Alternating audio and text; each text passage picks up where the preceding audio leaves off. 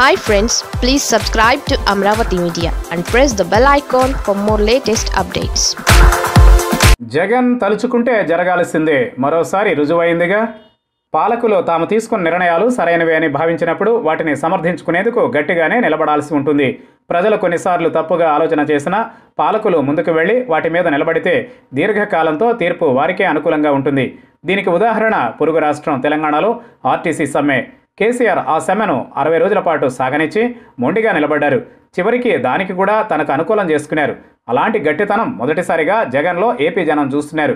జగన్ విషయం తీసుకుంటే ఆయన ఆర్థిక పరిస్థితులు కూడా చూడకుండా వరాలు ఇచ్చే వేలుపుగా మారిపోయారని విమర్శలు ఉన్నాయి. ఇక ఆయన జనం కోణంలో ఆలోచన చేస్తూ కాస్త మెత్తగానే ఉంటారని కొత్త కాబట్టి జగన్ను సులువుగా వంచే వచ్చినని కూడా అంచనాలు వేసుకున్నారు. కానీ తాను తలుచుకుంటే కొన్ని చోట్ల కఠినంగా కూడా ఉంటానని జగన్ నిరూపించిన ఘటనే అమరావతి రాజధానిని మూడు మొక్కలు చేయడం.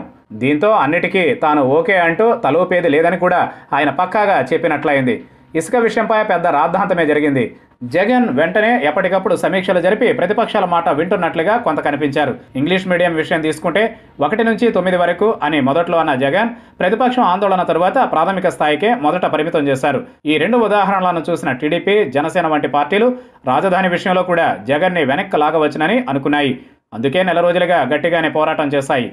కానీ సీన్ ఇక్కడే రివర్స్ అయింది. తనకు అన్ని విషయాల మీద క్లారిటీ ఉందని చెప్పుకుంటున్న జగన్ మూడు రాజధానుల విషయంలోనూ అలాగే వ్యవహరించారు. తాను ఏమనుకున్నది అక్షరాలు చేసి చూపించారు. తన పట్టుదల గట్టిదనం ముందు ప్రతిపక్షం ఉడత ఊపులు సాగవని కూడా తేల్చేశారు. అవసరమైతే ఒక మోదీలా మరో కేసీఆర్లా తాను కూడా గట్టిగా నిలబడగలనని నిరూపించుకున్నారు.